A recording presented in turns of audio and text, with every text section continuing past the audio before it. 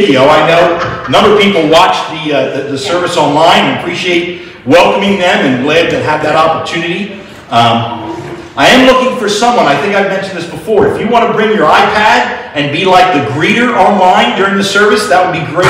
Uh, just to let people know that we're connecting with them in that way. It's hard to kind of do all those things at once like I just did this morning. Forgot to start the video. But uh, we use some help with that. We've been trying to do a child-friendly song or song that goes back in our memories uh, to teach our children, to make sure they don't miss the opportunities we had and, and, the good songs we learned when we were younger. So here's a, a song. I've got the joy, joy, joy, joy down in my heart.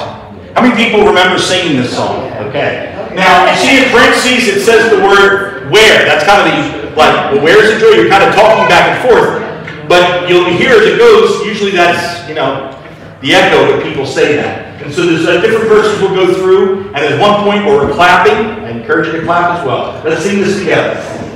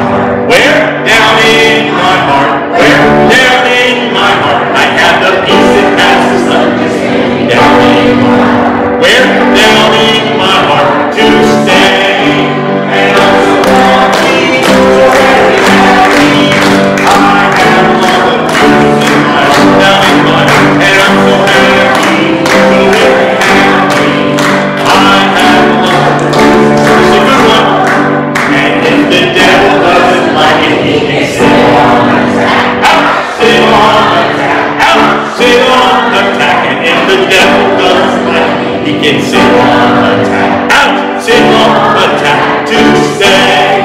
And I'm so happy, so very happy.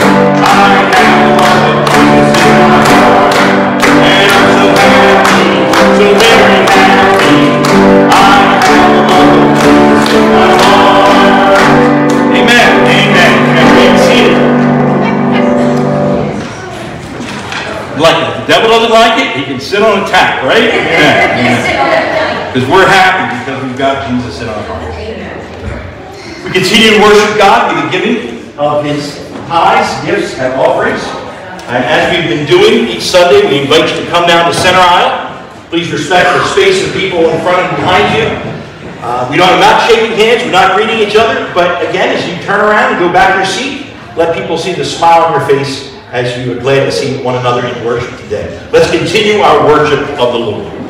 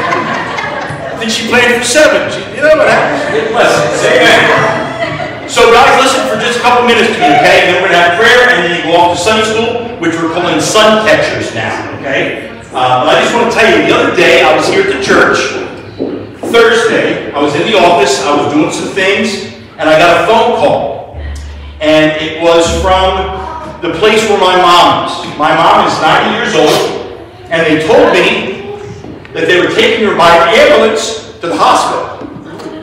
I dropped everything, got in my car, and drove up. It's up in Washington Township, an hour away. I drove up to, uh, to see her. Now, it's interesting. Immediately when I got that news, and I get a little emotional, I apologize, I started praying. And I started thinking back in those moments. Now, when I look back, you know what I wasn't doing? I was not thinking about what I didn't get done in the church. I wasn't thinking about you. I was only thinking about my mom and, and God and talking to God. I wasn't thinking about anything else, only those things. There are times in our lives when something happens and we get very sad. Now, let me say first, my mom's doing okay. Uh, she had what they call a stroke, but she lost movement in her left side of her body, and uh, she's getting movement back in her hand. Sometimes people lose a droop on their face and, and can't think. She's fine. Now, it ain't that. She's thinking clearly. No swearing in speech, no droop, so I'm grateful for all of those things. But there are times in our life when something happens and we get very sad. I want to tell you about a person in the Bible that was very sad. Her name was Hannah. I'm going to talk to the adults about this today. Hannah never had a child. She wanted to have a baby. She wanted to have a baby so bad. And year after year, she was married to this guy named Elkanah, and she never had a child. And it's very, very sad all the time. And everybody around her was having babies, but she wasn't able to have a baby for some reason. And so she went to God and she prayed. And one year when they came to the temple, like the church to pray, the priest, also a pastor, was there, and he saw her in the church, maybe out in front of the altar, and she was praying, maybe kneeling at the altar, and nothing was coming out of her mouth, but she was praying like in her mind and in her heart, and her mouth was moving. Well, when the, the pastor saw her, he said, Listen, if you're going to drink and you're drunk, don't do it in church. She said, I'm not drunk. That's not my problem. And she told the pastor she was so sad and upset that she couldn't have a child. And pastor understood and said, God has heard your prayer. And you know what happened? About a year later, less than a year later, she had a son. And they named him Samuel. Now we have a book in the Bible, 1 Samuel and 2 Samuel. Samuel means, the, name, the word, the name Samuel means God hears. That's why she named him Samuel, because God heard her prayer. It is a wonderful thing to know that God hears us when we pray. It's amazing for me to think, because if you all talked at the same time, I couldn't understand and hear every one of you. But God can hear everyone in the world, whenever they are, if they pray, if they talk to Him. And He cares about you. So I want you to remember that God cares. God hears you when you pray. He is always listening. He heard Hannah's prayer. He heard my prayer for my mom. He hears your prayers as well. Let's bow together and pray. Let's talk to God. Bow your heads and close your eyes. Lord God, we thank you that you hear us when we pray. There are times, God, when we'll be very sad. And we're grateful, God, we can come to you anywhere, anytime. Bless these children. May they learn early in their lives, God, that you are always there for them and you'll hear them. Be with them now, God, as they go to Suncatchers. Bless them and help them learn more about you as we all seek to learn more about you. We pray this in Jesus' name. And everybody said, Amen. Amen. Amen. Okay, head on up to Suncatchers. It's great to see you all today.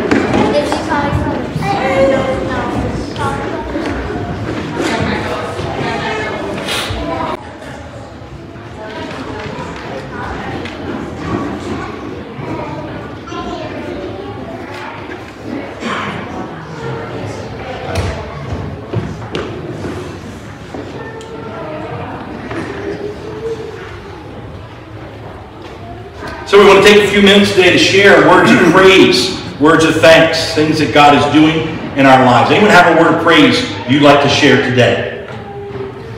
Anything good? Yes? Anything? A math teacher, an English teacher, but I counted 19 or 20 kids up there today. Amen. And praised for that. That's incredible. Amen. Praise God for that. Amen. Amen. And, and I, I would say they come because we provide something. Providing something for families and Sunday school for the children. And so glad for that. Amen. Amen. Yes, Donnie. Rudy has a birthday tomorrow. Brody has a birthday tomorrow. All right. The boy's getting older in the church, boy. I'll tell you what. God bless him. God bless him. Any other praises today?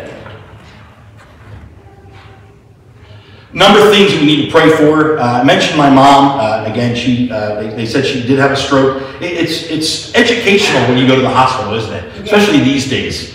Um, and, and I can't tell you how many doctors came into the room to see her. I tried to write things down. I lost track of, of keeping track of all the people that came in and attending physicians and interns. And, uh, and, and, then nobody wanted to commit to a decision like, did she have a stroke? Didn't she have a stroke? Uh, but that was finally the, the, the, the decision that they said that she did. Uh, like I said, she lost some mobility in our left side, still not able to move her left leg but is getting some sense back and able to lift up her arm a little bit. So uh, I, I, think she is on the road to recovery. Trying to find, uh, trying to be there when the social worker shows up uh, to try to find a rehab place maybe down here closer to me. So hopefully uh, it's a weekend, so hopefully Monday that'll that'll be happening. But uh, I know she's got uh, a number of friends that are there now with her. They were planning on going by to see her at 10:30. Somebody else at one, and then I'll get up there after that uh, later today. But I do appreciate your prayers for, uh, as she says, Teresa with an H is my mother's name. She likes to make sure people know that. And how many times people came in? Do you know who you are? Do you know where you are? Do you know what day it is? All those different questions that they ask 50 million times. But uh, she's doing well, and I do appreciate your continued prayers uh, for her. Um, I do ask we keep continue to pray for Lou Bailey uh, for his health and for Marion as she cares for him. Um, also ask that we keep in prayer um, Ukraine and all that's happening there. And, and again, we always think wisdom to know and to understand the things that we see, which uh, it was strange the other day. I, I, I, found a site that had fake videos on it, that they can make fake videos up today. So it's hard to know what's true and what's not true. So we really need God's discernment, God's perspective in these things. Um, and then the Bossert family, we ask to keep them in prayer. Uh, Vaughn's dad, Jack, passed away, and we want to keep uh, the Bossert family in prayer as well. Are there other concerns today that we want to keep in prayer? Yes, Becky. I'm having uh, nerve bleeding in my back on Thursday. So just keep that in prayer. All right, Becky, we'll keep you in prayer for that. All right. Yes. Pastor Melissa Dwight. Pastor Melissa? Yes, let's keep Pastor Melissa and her family in prayer. Thank you. Yes. Continue with Debbie. She had another little fall and has. Thank you. I forgot to mention that. Yeah, Deb, Deb Burgess. Keep her in prayer. I talked to her this week just to check in, see how she is. She goes, "Oh, I guess you heard I, I fell and, and, and have two staples in my head." I'm like, Deb. So please keep her in prayer. Uh, again, wanting to do things on her own, I'm sure. Uh, but uh, just keep her in prayer for patience. I'm sure that's what she needs right now. Again, she fell and broke her leg, her ankle, and, and going into the bathroom, she fell again, and, that happened. So let's keep Deb Burgess. Thank you. Remind me that, Gene. Any other concerns? Yes, Barb. Um, John lost an uncle, and his grandfather's not doing very well in the hospital also. All right. Keep John's family in prayer as well. Get that? Um, I have a friend, Dale DeVries. Um, she just found out she's going to have to go to the hospital because she's got a staghorn kidney stone, which Okay. is about as big as her kidney Wow. at this point, and she is scared to death of doctors and hospitals. So just strength and a sense of peace. Okay. The right person. You said it's Dale? Her name's Dale? Dale. Dale, okay, I want to keep Dale in prayer, going to the hospital for a, a very large kidney stone and patience and strength in the midst of that. Yes, Betty? When, when Ukraine was first invaded and you watched the people on TV heading towards the ATMs, they were saying, heading out of the, and I thought, boy, isn't this what the second coming is going to look Mm. like? The rapture, just staying there. And we have the power to have a voice to make sure that we, those crowds are going with us. Amen. We are, use that voice. Amen. Thank you. Thank you for that word, Betty. Amen. Amen. Bet, Barbara? Um, Loretta's daughter Dana is ill with COVID, but that's also a problem because she, own- she just had that kidney transplant. Okay. While we were having dinner last night, Dottie has blacked out. We were blessed because there was a nurse there and an EMT who immediately assisted. She was taken to the hospital in an ambulance, but everything checked out fine, so we were blessed. All right, all right. I know she'd appreciate the prayers. All right. She back home now? Is that? Yes, Okay. she all came right. home last night. Thank you for that update. Okay, thank you. I didn't hear that. Okay, let's keep uh, Dottie in prayer as well. My wife, of you too, is feeling under the weather this week. She's she may have a kidney stone. They don't know. It's one of the things they're trying to figure out. And uh, had a kidney stone, I've had two before. They are not uh, enjoyable in any way. So uh, I appreciate keeping Paula in prayer for some pain she's got as well. A lot of concerns this morning. We're glad again that we have a God that we can go to that hears us when we pray. Um, and so we're going to do our course, Jesus Draw Me Close. If you'd like to come forward and kneel at the altar and lift any requests up to God, you're, free to do that as well as we go to prayer. Let's sing this together twice. Jesus Draw Me Close.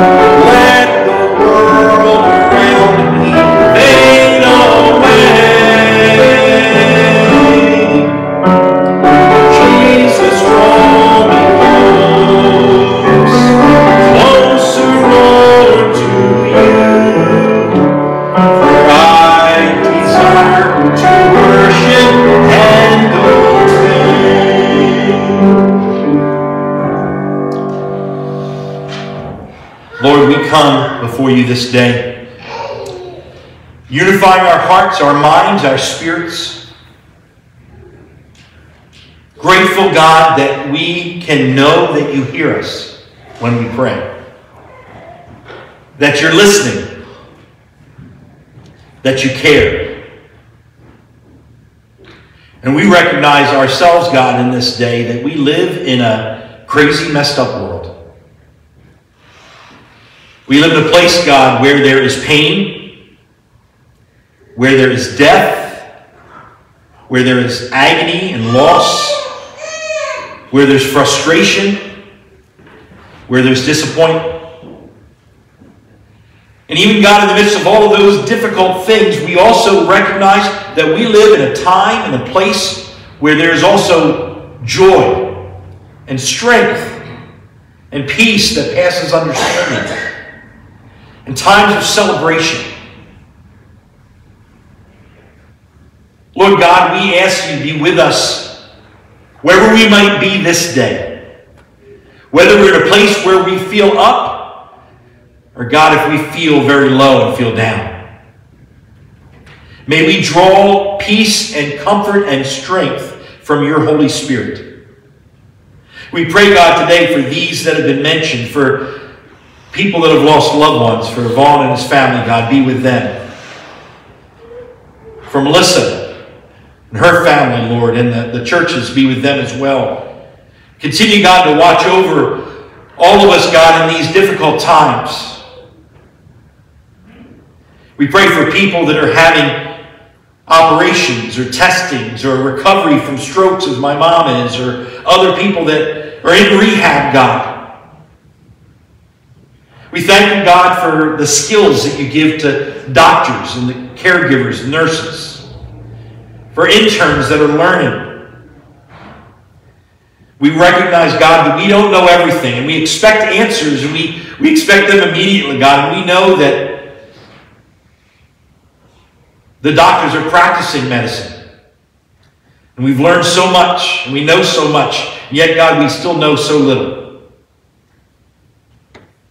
We're grateful, God, that we can come to you. Lay our petitions, cast our cares before you, and know that you care about us. And that you know what's best, and you'll help us in and through whatever is before us. We pray, God, today for the people in Ukraine it's hard to imagine what they're going through, choices, decisions they had to make in the last week of whether to stay and hide, stay and fight, or go out of the country and where to go, to leave behind things, what to leave, what to take. We can't imagine, God, what that must be like. May you be with those people. May you be with the families. May you be with the children. And we pray, God, today for our leaders, leaders of our world. We pray, God, that there may be a acknowledgement, the value, the beauty, the sanctity of life.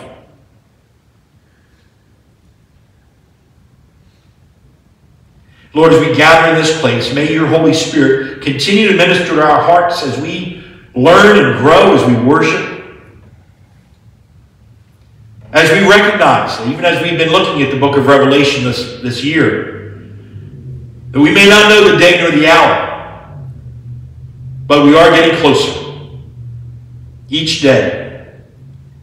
And we pray, God, that our hearts, our minds, our spirits would be ready and prepared for whatever lies ahead, knowing, God, that you are with us. You never leave us, you never forsake us.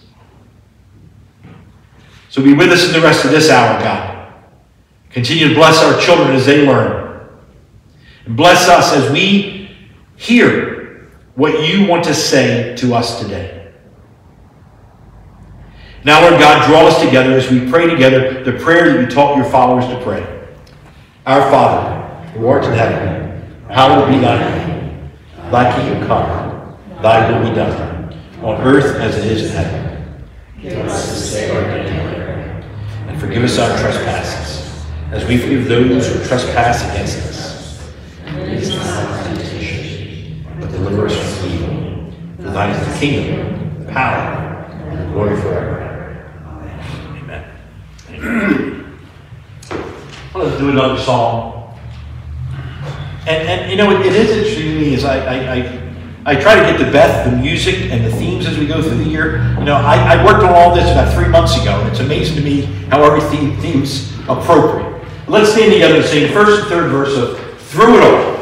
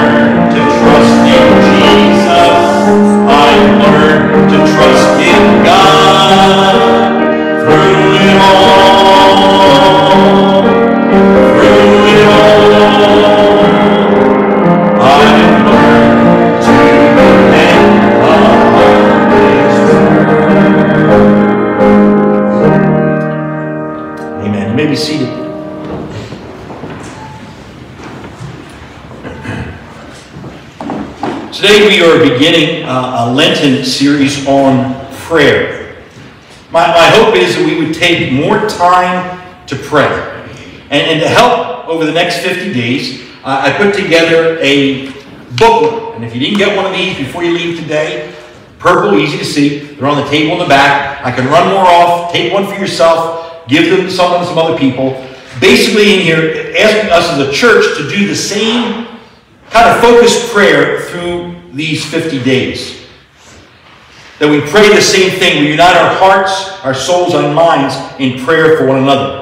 Each day you'll be asked to read a psalm. We're reading from Psalm 1 through Psalm 50. The psalm itself is a prayer. And I want you to be in an attitude of prayer and to see what God may be revealing to you. And then I made some suggested guidelines and outlines, some things to pray for. Sometimes it's for yourself, for your family, for your witness, for our nation, our community, others in our church. I took the directory that we have and I tried to divide it up, the names up for three or four families each day to pray for. it. If I left you off, I apologize. If I spelled a name wrong, I'm sorry. Try to do our best to, to include everybody here. Um, and some of these people you might be like, I'm not sure who these people are. That's okay. You can still pray for all these people that are listed there. Pray for their relationship with the Lord. Pray for their witness and their safety. I've included other pastors and churches in the area to keep in prayer, other ministries in our church, other missions that we support to keep in prayer. Again, that we may continue to be a witness for God in this community. We would continue to be a welcoming, welcome, welcoming, loving community that seeks to bring all people into a growing relationship with Christ. So I want you to take one of these home, commit yourself to pray each day over the next 50 days. Um, you may decide to do it in the morning or the evening. I encourage people typically to do it in the morning. It doesn't have to be long. It could be five minutes. Maybe it could be longer than that. It's up to you. But again, I wonder how God might bless you and might bless us as a church if we did this. So now through Easter, uh, to take time each day to pray, to read a psalm, and to pray. Uh, I'll be preaching on some different prayers. Uh, today we're looking at Hannah's prayer. We'll look at Solomon. We'll look at David. We'll look at Nehemiah's, uh, Jesus' prayer, uh, different prayer each week. So I want to ask you to bow with me in prayer. Let's pray together. Lord, as we begin this season of the church, we are grateful that we can communicate with you. And we ask for your Spirit to help us as we take time each day to pray, to read a psalm, and to pray. Pray for ourselves, to pray for others. We ask you to be with us in these services on Sunday, God, as we share and read these prayers from your word. We might learn gain insight as we live our lives today. Lord, may the words of my mouth and the meditation of our hearts be acceptable in your sight. We pray this in the name of Christ, who is our strength and our Redeemer. And all God's people said, Amen. Amen. So if you have your Bibles today, I want to ask you to open up to 1 Samuel chapter 1. In Samuel, we find a woman whose prayer was used by God to bring into being the first and in some ways the greatest of the prophets of Israel. A man who'd become the spiritual guide and mentor to the first two kings of Israel. Her name is Hannah, the mother of Samuel. Now, the story's told in kind of four simple movements here. We see Hannah's pain, Hannah's prayer, Hannah's peace, and Hannah's praise. I want to look first at the problem Hannah faced and the pain that it gave to her. And we're going to be reading again 1 Samuel uh, verses 1 through 6. And Sheena uh, if she's going to read there, and she's got a microphone. Is it working, Sheena? Hopefully. There you go. So just follow along as she reads verses 1 through 6. There was a man named Elkanah who lived in Ramah in the hill country of Ephraim. He was the son of Joram and grandson of Eluah from the family of Tohu in the clan of Zuph. Elkanah had two wives, Hannah and Peninnah. Peninnah had children, while Hannah did not. Each year, Elkanah and his family would travel to Shiloh to worship and sacrifice to the Lord Almighty at the tabernacle. The priests of the Lord at the time were the two sons of Eli, Hophni and Phinehas. On the day Elkanah presented his sacrifice, he would give portions of the sacrifice to Peninnah and each of her children, but he gave Hannah a special portion because he loved her very much, even though the Lord had given her no children. But Peninnah made fun of Hannah because the Lord had closed her womb. So there was Hannah's problem. She was a barren woman who longed to have a child, married to a man named Elkanah, who happened to have another wife named Peninnah. Peninnah had children, Hannah had no children. But she had a deep desire to have a child. And, and as any married woman, she expected and hoped soon to feel the first signs of pregnancy, but went months and years, and yet her womb was unfruitful. She longed to have a son. What made it worse was, if you at the end there, Elkanah's other wife, Peninnah, seemed to have a baby every time she turned around. Just as regularly as the seasons, a new child would come, and she'd hear the laughter of the children and the joy of them in the house, but Hannah had no children. That ache in her heart deepened as time went by. The final wrench of agony, of course, was that Peninnah would not keep quiet about her fertility. She found a thousand ways to remind Hannah of her barrenness. She taunted her and mocked her because every, and every word sank deeply into Hannah's heart. She grieved over the fact that she didn't have any children. Now, of course, we could say one of the problems may have been the fact that there were two women in the house. Uh, that certainly would bring conflict.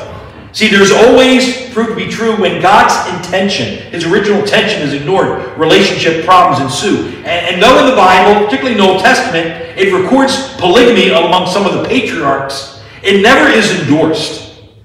And here's an instance of the price that's been paid because people follow the customs of the world around them. This man Elkanah had two wives instead of one. And then here we find in verses 7 and 8, as we begin to open up into Hannah's prayer. Sheena, read verses 7 and 8, please. Year after year it was the same. Peninnah would taunt Hannah as they went to the tabernacle. Hannah would finally be reduced to tears and would not even eat. What's the matter, Hannah? Elkanah would ask.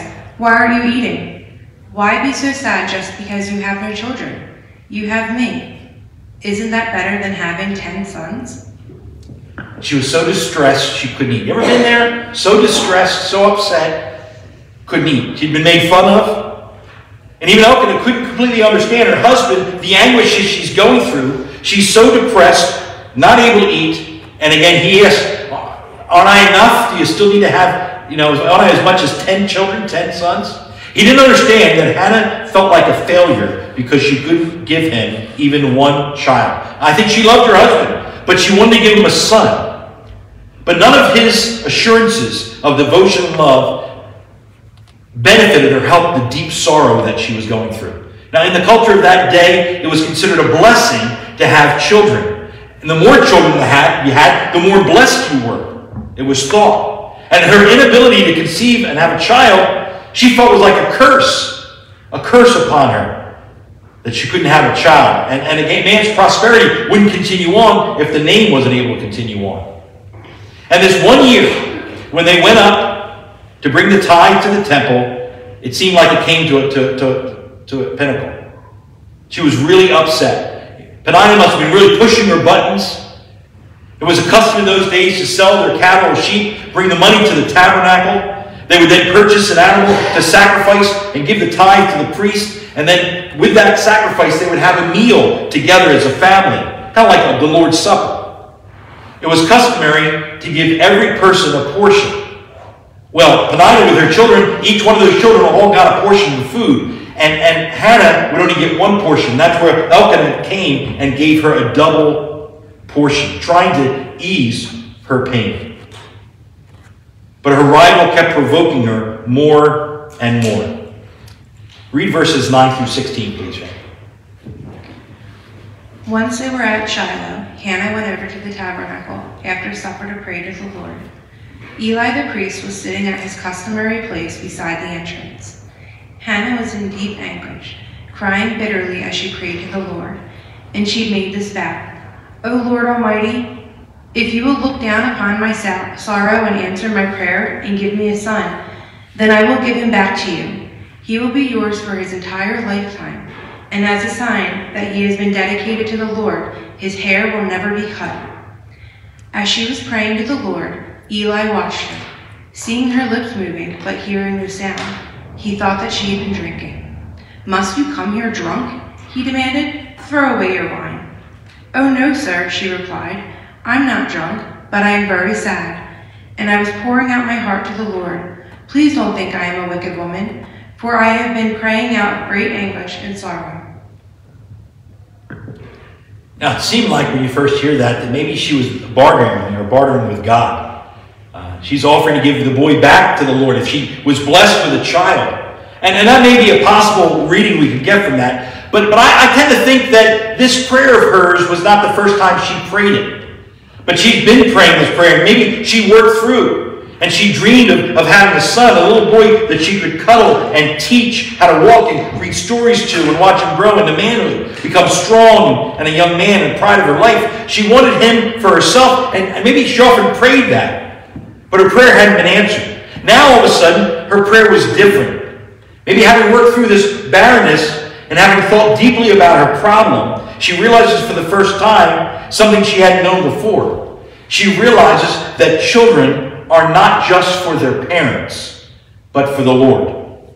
In her anguish and in her grief, Hannah prayed to the Lord, and she began by making this vow that if the Lord blessed her with a child, if the Lord graciously looked upon her, she would ask for a blessing on her son, and she said that no razor would come on his head, which really was the vow of a Nazarite. If you want to go back and look, it's in Numbers chapter 6, verses 1 to 8. We're not going to read that now.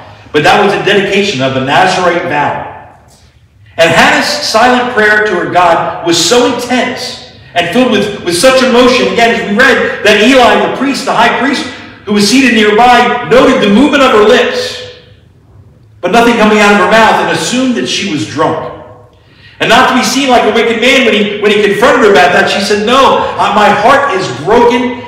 I'd like to have a child. I want a child. And, and after that explanation, Eli assures her that God would answer her prayer. This assurance from Eli was an encouragement to Hannah's heart. Read verses 17 and 18. In that case, Eli said, Cheer up. May the God of Israel grant the request you have asked of him. Oh, thank you, sir, she exclaimed. Then she went back and began to eat again, and she was no longer sad. It's amazing what an encouraging word can do. She went back and she ate again. She had peace that God was going to take care of things. Peace that we often describe as that passes understanding. Now, when you're in the midst of a problem, you don't know how much time's gone by. We know the whole story, and we know that within a year later, she did have a child, named him Samuel, again meaning God hears, asked of God. That God had granted her request, but there was peace in her heart right from the very moment that the priest said that. Eli said that to her. The Apostle Paul tells us this Have no anxiety about anything but in everything by prayer and supplication with thanksgiving, let your requests be made known to God. And what we like to read after that, and God will answer your prayers. But that's not what it says. It says, and the peace of God, which passes all understanding, will guard your hearts and minds in Christ Jesus. That's what Hannah experienced. When we pray believing, God brings peace. We may not know what the answer is actually going to be, but there can be peace. She had pain. She prayed. She found peace. And then one more thing I want us to see she praised the Lord. I'm not going to read the rest of chapter 1, but the account tells us that when the time had come, she gave birth to a boy, named him Samuel. Several years she didn't go back up to the temple and worship. But until the boy was weaned, which was a Hebrew custom, when he was probably five or six years old, she came back to the temple with her husband. And then read the last verse there, verse 28 of chapter 1, Sheena.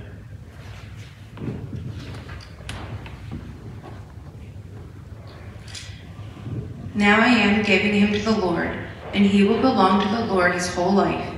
And they worship the Lord there. And what happened at that point, at five or six years old, she left Samuel at the temple with the priest. Didn't come back home again.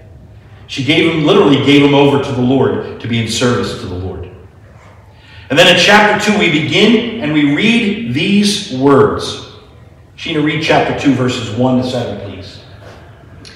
Then Hannah prayed, My heart rejoices in the Lord. Oh, how the Lord has blessed me. Now I have an answer for my enemies as I delight in your deliverance. No one is holy like the Lord. There is no one beside you. There is no rock like our God. Stop acting so proud and haughty. Stop speak with such arrogance. The Lord is a God who knows your deeds, and he will judge you for what you have done. Those who were mighty are mighty no more, and those who were, were weak are now strong. Those who were well fed are now starving, and those who were starving are now full. The barren woman now has seven children, but the woman with many children will have no more.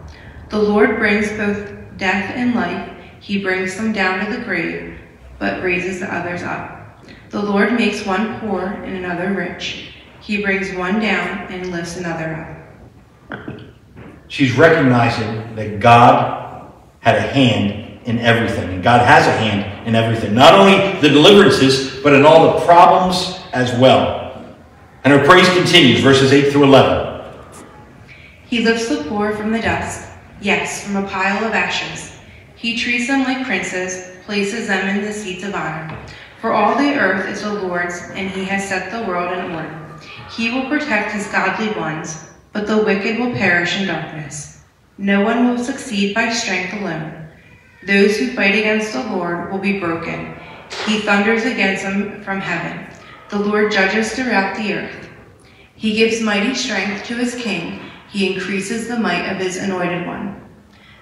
Then Elkanah and Hannah returned home to Ramah without Samuel, and the boy became the Lord's helper, for he assisted Eli the priest. It's amazing when we read that prayer and hear that prayer. Um, for some reason, in our mindset today, we think we're smarter than people were in the past.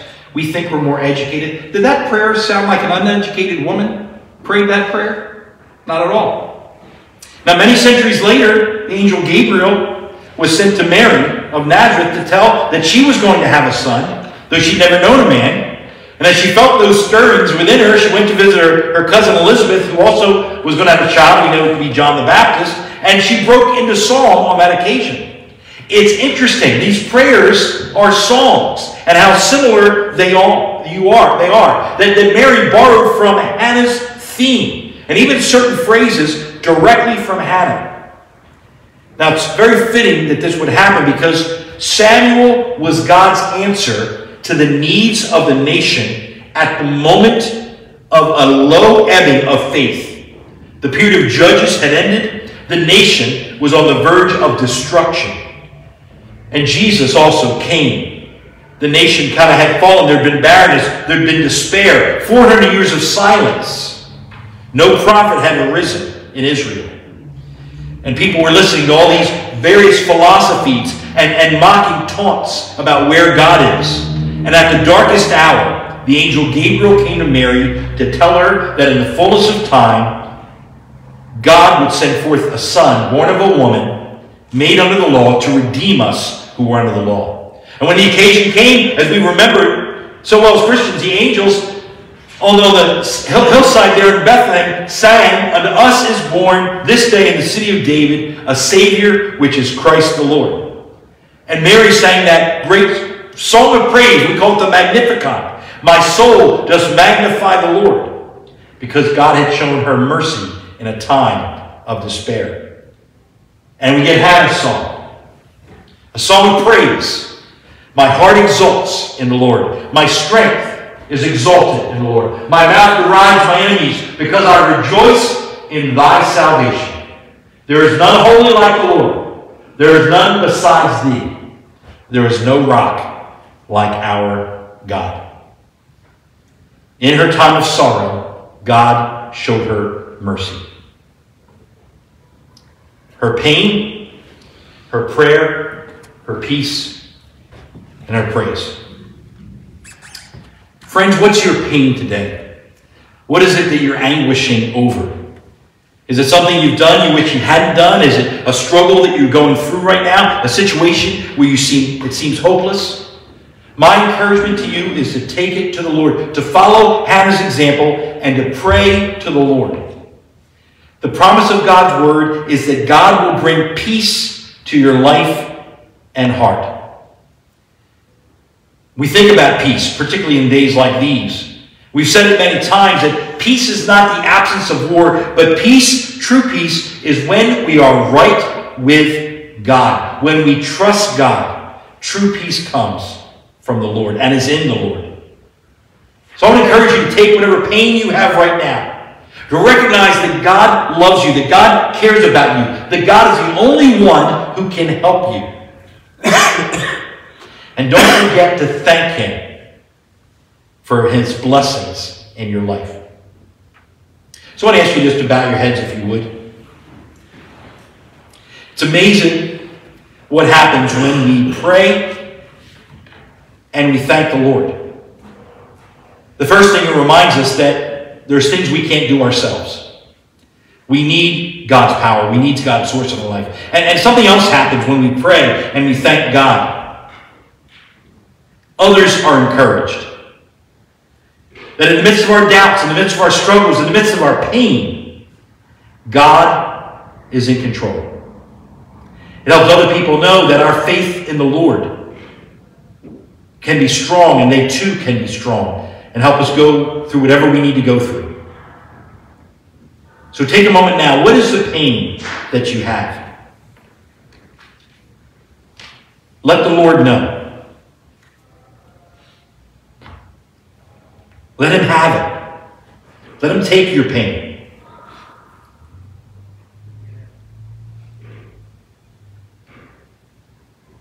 Lord, as we start these 50 days of prayer, we want to be right with you. I pray, God, today, if anybody here doesn't know you as their Savior, as their Lord, even now, God, your Spirit might move in their hearts. We who know you, God, we know that you hear us. We know that you're listening. We know you care, but so often, God, we don't come to you first, we come to you last. We come to you when we've tried everything we can do. Help us, God, to come to you first. Forgive us, help us. We trust you, God. We love you. Take, take the pain, God, that is represented in this room right now. Whether it's a pain of something that was said or done, whether it's the pain in a person's heart, whether it's distress, whatever it is, Lord, we give it to you. Help us. For God, we recognize that in you and you alone is true peace. So, Lord, help us in these days to seek your peace, to find your peace, and to live in that peace. Change us, break us, mold us, shape us, God, into what you want us to be for your sake. We ask this in the name of Christ. And all God's people said, Amen. Amen.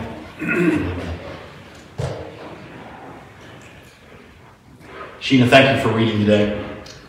As we close today, I'd like to ask us to stand together and let's sing this beautiful hymn together, Near to the Heart of God. Let's sing.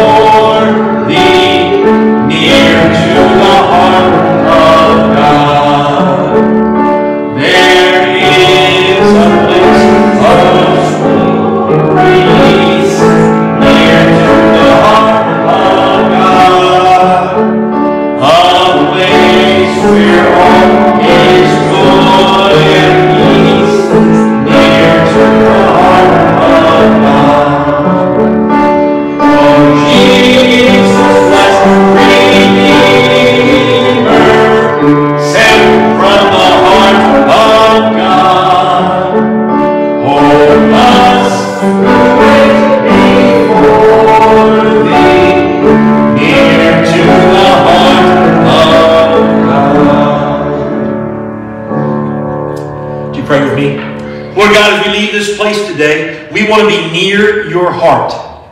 Lord God, we want to be able to find peace. We want to be able to be people, God, who pray.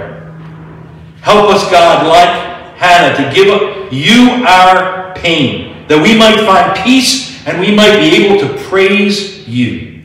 Send us forth now, God, casting our cares upon you, knowing that you care for us, living in these days with strength that, and peace that passes understanding. We ask this in the name of God the Father, the Son, and the Holy Spirit. And all God's people say, Amen. Amen. Amen. God bless you as you go. Have a wonderful week.